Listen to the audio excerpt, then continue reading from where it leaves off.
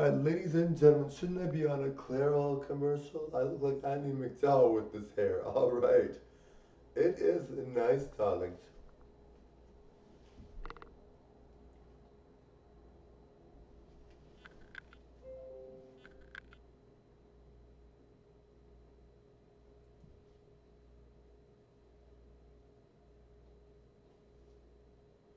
Click that subscribe button by now.